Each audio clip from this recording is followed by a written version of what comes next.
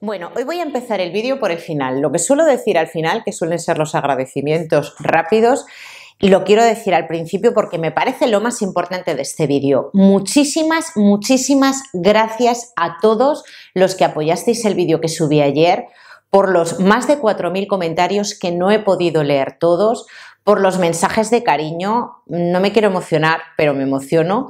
Gracias y en particular gracias a mis amigos, a mi familia, a la gente que me, que me apoya de mi entorno, gente incluso que hace tiempo que no tengo contacto con ellos, me refiero a mis amigos de León, y gracias en particular a mis clientes, gracias a mis clientes que han tenido el valor que yo no he tenido de volver a entrar en Twitter para defenderme. No tenían por qué haberlo hecho, les ha salido del corazón, así que desde aquí muchísimas gracias.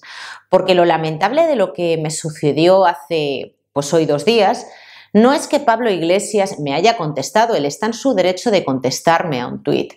El problema está, y él lo sabe, que en una red social donde él puede tener dos millones de seguidores en Twitter y yo tengo mil, él sabe que en el momento en el que protagoniza a alguien en uno de sus tweets, señala a alguien, toda la gente que le sigue como si fuera el líder de una secta, pues va a ir en masa a desprestigiar a esa persona.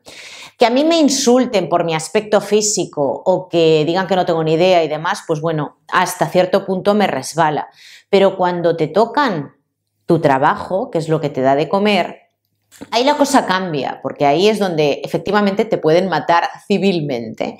Y eso es lo que me pasó a mí. Ayer no quise entrar en detalles, pero yo de lo que leí el lunes por la tarde-noche, había gente que decía que me conocía y que yo le había estafado un montón de dinero Obviamente las posibilidades de accionar legalmente ante un comentario así son nulas porque esa persona se oculta tras un perfil, no aparecen sus datos personales y los demás le seguían el cuento. Quiero decir que había innumerables comentarios donde decían que yo engañaba a la gente, que yo me aprovechaba de la gente, que yo no lo decía a la gente. Cuando eso, vamos, cualquier persona que haya trabajado conmigo sabe que lo primero que hago, lo primero que hago después de una consulta, antes de empezar a trabajar con una persona es darle una hoja de encargo para que sepa desde el principio lo que le voy a cobrar y siempre ha sido un presupuesto cerrado. Pero bueno, un montón de injurias y de calumnias que efectivamente pues te dejan una situación muy vulnerable. Así que desde aquí muchísimas gracias a todos los clientes que tengo y algunos de reciente incorporación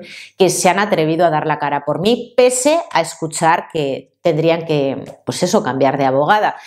En fin, que yo voy a seguir haciendo lo que hago, pero creo que no es comparable, por mucho que yo me pueda arrepentir de meterme con el aspecto físico de Pablo Iglesias, no es comparable porque, claro, cuando una persona habla de un político, que también me han preguntado, ¿no? Es que tú, ¿quién eres tú para hablar de los políticos? ¿Quién eres tú para hablar de Pablo Iglesias y de Irene Montero? Pues una ciudadana que paga sus impuestos y que le está pagando el salario a esa persona. Esa persona que con sus decisiones afecta a mi vida y a la de todos los españoles, porque solo faltaría que con todo lo que hacen y con todo lo que cobran, encima los españoles, los ciudadanos, nos limitemos a meter la, papeleta en la urna y que no podamos decir nada. Es que solo faltaría que no les incomodemos con nada de lo que vayamos a decir. Aún así, Efectivamente, yo no me suelo caracterizar por meterme con el físico de nadie ni con el aspecto de nadie. Lo hice en una red social, me arrepiento en parte, aunque sigo pensando lo mismo, de hacer ese tweet, pero creo que no es comparable y Pablo Iglesias sabe que no es comparable, que en el momento en el que señala a una persona que está en una situación de desventaja, toda la horda de gentuza que le sigue va a ir en masa a atacar a esa persona. ¿Y dónde la va a atacar? Pues donde más le duele, en su trabajo. En fin, de todas formas, no soy la única que pues, habla de los políticos, algunos con más, otros con menos razón, algunos con mayor fundamento que otros, pero creo que todos estamos en nuestro derecho de opinar públicamente lo que queramos de nuestros políticos. Es que solo faltaba, es que ellos toman decisiones importantes para todos. El resto nos podemos limitar a hacer un comentario. Ese es nuestro margen de actuación, la libertad de expresión. Pero me ha hecho muchísima gracia lo que ha pasado, el encontronazo que han tenido eh, Echenique, más bien el encontronazo que ha tenido Echenique con Pérez Reverte. Yo cada día soy más fan de este hombre. Y cómo se ha tenido que ir Echenique calladito, sin decir nada porque claro, con ese hombre es muy difícil que gane algún tipo de batalla dialéctica. Y es que lo que ocurrió, que seguramente lo han visto ustedes ya, es que Chenique hizo un pantallazo de una entrevista que se le hizo al director de la Real Academia Española, donde este hombre mencionaba que él no veía el uso del lenguaje inclusivo en la calle, es decir, que la gente por la calle vaya diciéndoles niñes y cosas así. No, la gente por la calle normalmente utiliza el masculino genérico para referirse a todos los niños o como a todas las personas que podría ser considerado femenino, es decir, por economía del lenguaje, por no ser redundante. Y claro, estos que se han caracterizado por ser los hooligans de la política, los podemitas del séptimo día, de buscar cualquier respeto del que poder hacer demagogia, manipular las palabras, decir que lo que has dicho es lo que ellos pretenden que digas para señalarte nuevamente. Pues ha cogido ese trocito de la entrevista, ha hecho un pantallazo y ha dicho que eso ocurre que no se encuentra el lenguaje inclusivo en las calles, porque dentro de la Real Academia Española los cargos son ocupados mayoritariamente por hombres. Y claro, pues Pérez Reverte le ha dicho, no hable usted de lo que no sabe, porque ¿cómo le garantiza usted a la gente, cómo podría usted garantizar que el hecho de que existan mujeres vayan a utilizar las personas en la calle ese estúpido lenguaje? Y luego le ha mandado a tomar vientos. Y claro, Echenique se ha tenido que callar la boquita. Y me alegro, porque estos han entrado así. Es increíble que haya gente que les defienda, Todavía.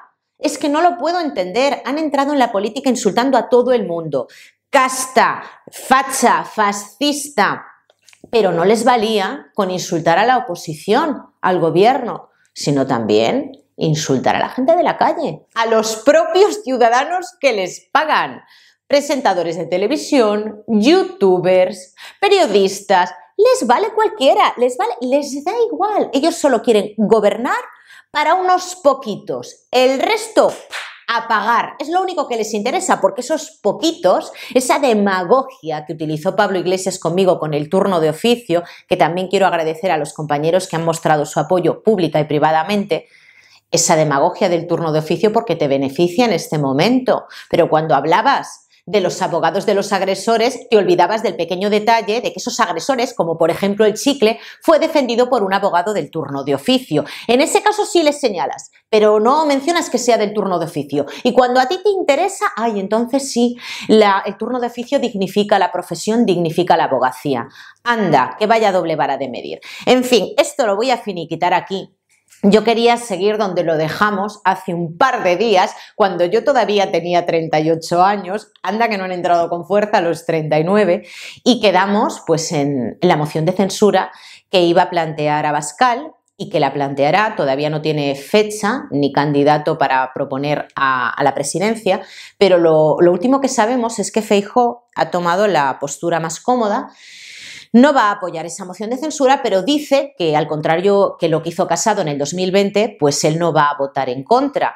Y bueno, promete que va a derogar todas las leyes que ahora mismo va a aprobar o que ha aprobado ya el Partido Socialista en coalición con Podemos y que hará todo lo posible porque España vuelva a ser la que era. Y yo le vuelvo a decir lo que le dije hace un par de días, eh, si todavía queda algo, porque ahora está encima de la mesa lo que empezó siendo una sugerencia de Esquerra Republicana que era pues modificar el delito de malversación, el delito de corrupción. ¿Qué es la malversación? Tenemos que tener en cuenta que la malversación, el delito de malversación, de corrupción, solo lo pueden cometer los funcionarios públicos, los políticos, las autoridades públicas. ¿Y de qué se trata este delito? Pues dicho de una forma sencilla es un delito de corrupción, de administrar de forma desleal el caudal público, nuestros recursos, lo que damos al Estado en forma de impuestos. Eso lo tienen que administrar los políticos, pero si un político con esos fondos públicos los dedica a otro fin o los utiliza para enriquecer a un tercero, un amigo, un familiar o su propio bolsillo, eso está castigado en nuestro Código Penal. Si el caudal de lo defraudado supera los 250.000 euros, ahora la pena privativa de libertad, lo tengo apuntado porque tengo tantos números que no quiero decir algo que esté mal, la pena privativa de libertad en la actualidad iría de 8 a 12 años, si el caudal de lo defraudado fueran 250.000 euros hacia arriba, y la inhabilitación para ejercer cargo público es de 15 a 30 años, es decir, no poder presentarte a unas elecciones como candidato en un plazo que vaya de 15 a 30 años. Eso es como está previsto en la actualidad el Código Penal. En el 2015, cuando gobernaba Rajoy, no hizo distinción, es decir, dentro del delito de malversación se contemplaba igualmente la conducta de destinar esos fondos públicos a un fin diferente que, aunque se utilizaran para enriquecerte, se castigaba de la misma manera cuando el caudal de lo, defraudaba, de lo defraudado perdón, superaba los 250.000 euros. ¿Qué pretenden hacer ahora? Bueno, pues una distinción. Si yo el caudal de lo defraudado lo utilizo para enriquecer a un amigo o enriquecerme yo, entonces la pena se va a mantener igual. Pero si utilizo esos fondos para dar un golpe de Estado, para convocar un referéndum como lo que ocurrió en Cataluña, la pena va a quedar de esta manera. Recuerden, de 8 a 12 años de prisión va a pasar de 1, la mínima. Recuerden ustedes que los jueces parten de la mínima a la hora de determinar la pena, de 1 a 4 años, y la inhabilitación para ejercer cargo público pasa de 15 a 30, de 2 a 6 en la actualidad, quedaría así. Y claro, Pachi López sale y nos lo intenta vender, es que ahora vamos a hacer un cambio. ¿Cómo les gusta? ¿Cómo les gusta cambiarle el nombre a las cosas y manipular a la gente? No, fíjense ustedes, lo que vamos a hacer ahora es que ahora nosotros vamos a implementar un nuevo delito, el de enriquecimiento. Si un político se enriquece más de 250.000 euros, entonces le vamos a castigar. No, Pachi, eso ya existía. Lo que ustedes van a hacer es eliminar dentro del delito de malversación el que se utilice para otros fines. Y entonces es como que no pasa nada, como yo no he utilizado ese dinero para enriquecerme yo o a los míos, lo estoy utilizando para dar un golpe de Estado, pues entonces no pasa nada. De uno a cuatro años, inhabilitación para ejercer cargo público, de dos a seis.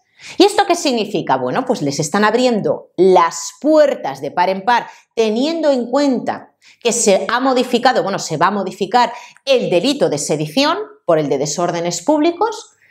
¿Cómo nos garantizan a los españoles que no están contando con nosotros? Fíjense la estrategia, fíjense en la estrategia para conseguir Cataluña, el paso a la independencia, que vuelvan a celebrar otro referéndum no va a pasar nada, no va, nadie va a tener en cuenta que el dinero de todos los españoles, el tuyo, que me estás viendo también, se va a dedicar para hacer un referéndum, un golpe de Estado y que consigan la independencia sin que el resto de los españoles podamos posicionarnos ni en contra ni a favor. Eso es lo que está haciendo el gobierno.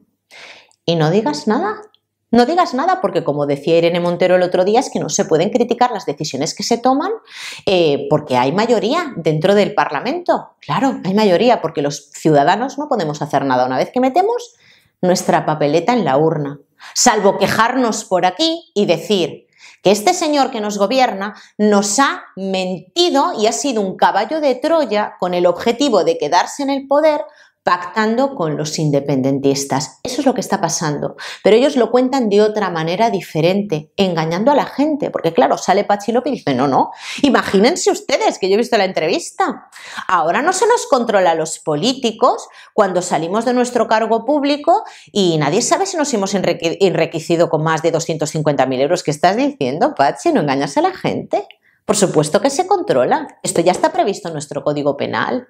Lo que pasa es que quieren eliminar otra cosa. Y es que si esos 250.000 euros o más los dedicamos a otros menesteres que vayan en contra de la unidad de España, no va a pasar nada.